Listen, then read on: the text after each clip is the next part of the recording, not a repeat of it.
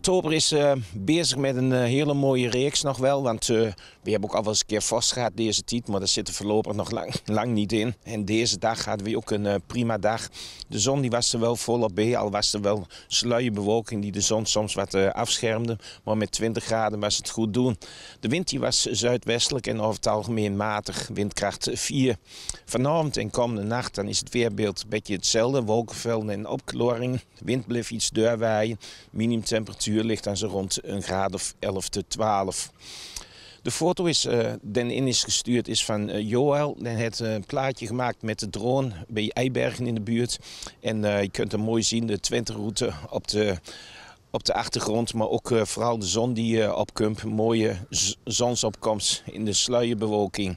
Wil je ook een foto opsturen? Dan kan naar foto.gerritsweerpraat.nl Vandaag ben we met de weerpraat in uh, Stukkum. En uh, dat is niet zomaar, want uh, ja, kijk maar een beetje omheen. Het is nou nog rustig, maar even dit uh, Siegfried. En ik kan er alles over vertellen, want het gaat los hè, morgen.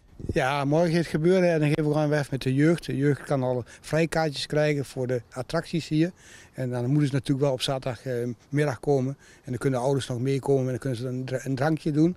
En dan gaan we met de stad tot ongeveer half zeven, oh, nee zeven uur denk ik ongeveer. En dan gaan, kan de rest alweer naar de KVJ. officieel gaan we zondag echt, echt pas open. Dan wordt de kermis ook officieel geopend door de, door de burgemeester. En dan hebben we echt de stad van de kermis.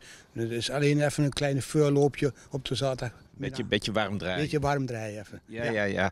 Maar zondag gaat het dan uh, gebeuren en dan is vooral denk ik uh, hier uh, het vogelschieten. wanneer gaat dat gebeuren? Dat gaat op maandag gebeuren. Dan hebben we nu nog een, de oude koning, ja ik zeg oude koning, begint heel...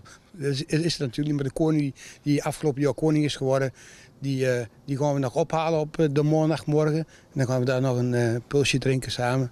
En dan uh, trekken we hier naartoe en dan gaan we in de smorgens beginnen we met vogelschieten. Hier, dan komt de nieuwe koning schieten. En, en uh, de dinsdag is dan een beetje afkicken? Ja, een beetje afkicken. Een beetje is uh, ja, voor, de, voor de mensen die nog even Noorddust hebben, zeg ik altijd. Hè. Maar dat is wel een hele gezellige middag. En voor de kinderen is natuurlijk ook de mini-playback show. Dan kunnen de kinderen zich ook nog een beetje wat vermaken nog. En dat is ook altijd heel leuk. En dan kunnen ze, kunnen ze nog een, een laten tonen. Het weekend uh, zit er wel aardig uit. Een klein adertje onder het gras, maar dat zal ik zo dadelijk nog even zeggen. Maar de zaterdag uh, hebben we toch redelijk wat zon. Ook wel wat wolkenvelden, maar temperaturen liggen ook zo rond de 21 graden.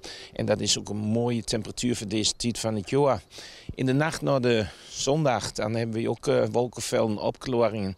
Koelt het af naar een graadje of 10. En zondag, ja, dan is de wind tijdelijk wat oost, later ook noordoost. En dan komt er wat meer bewolking binnenschroeven. Zal de temperatuur iets onder druk zetten. Ik denk dat we de 20 graden net kunnen halen, maar fel zal het niet zijn. Maar het blijft in ieder geval wel dreug. Ja, in Noordweekend gaat de temperatuur alleen nog meer wat omhoog. We gaan nog richting 22, 23 graden midden volgende week. Alleen vanaf woensdag neemt de kans op buien wel wat toe. Woensdagavond en in de nacht naar de donderdag. En dan wordt het allemaal wat frisser. Maar tot die tijd hebben we nog prima weer voor de oktobermaand. En daar mogen we even van genieten. Ik wens iedereen een prettig weekend en goed gaan.